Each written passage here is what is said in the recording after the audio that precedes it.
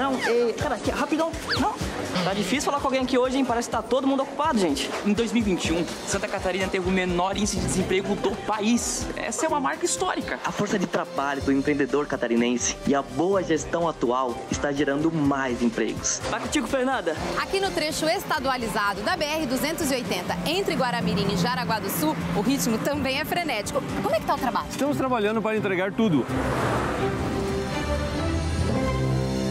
Primeiro, eu gostaria de pedir a participação do Maicon, porque é nesse domingo a 19ª edição da Grande Festa do Trabalhador. Tá todo mundo ansioso, a gente está louco para encontrar você por lá e o Maicon tem informações importantes que vão te ajudar, inclusive, a chegar até a Expoville. Não é mesmo, Maicon? O que, que está sendo preparado aí para aproveitar esse momento todos nós juntos, mas também facilitar para que esse transporte aconteça? Boa tarde para você.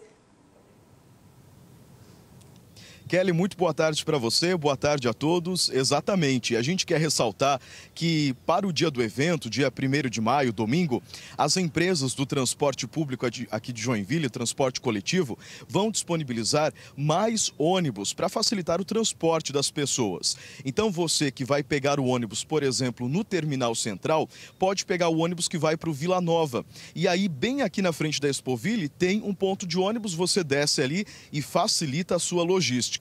Agora, se você quer vir de carro ou de moto, o estacionamento no dia do evento vai custar 15 reais, porque esse é um serviço privado, não faz parte dos serviços oferecidos gratuitamente pela Festa do Trabalhador. O espaço aqui é privado, então o estacionamento para carros e motos vão custar, é, vai custar 15 reais. Já ônibus e vans, o estacionamento é 40. Se você não quiser estacionar aqui na Expoville, pode estacionar fora. Tem na rua, tem outros estacionamentos estacionamentos e aí você anda um pouquinho e vem até a festa do trabalhador.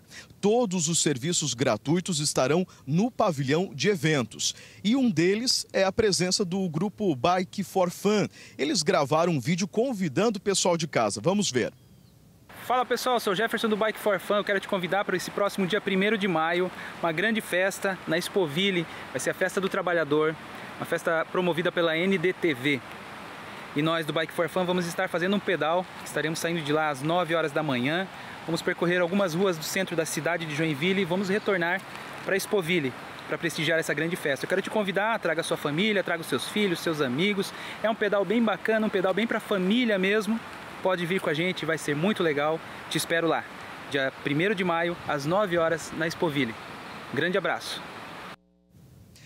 Lembrando que esta é a 19ª edição do evento, a maior festa do trabalhador de Santa Catarina. Nos últimos dois anos não teve o evento por conta da pandemia, então essa é a retomada. E como diz aquele meme da internet, que saudade de uma festa, né minha filha? Então a gente conta com você de casa para vir aqui na Expoville e fazer sucesso.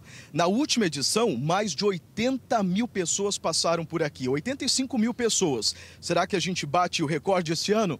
Vem para cá.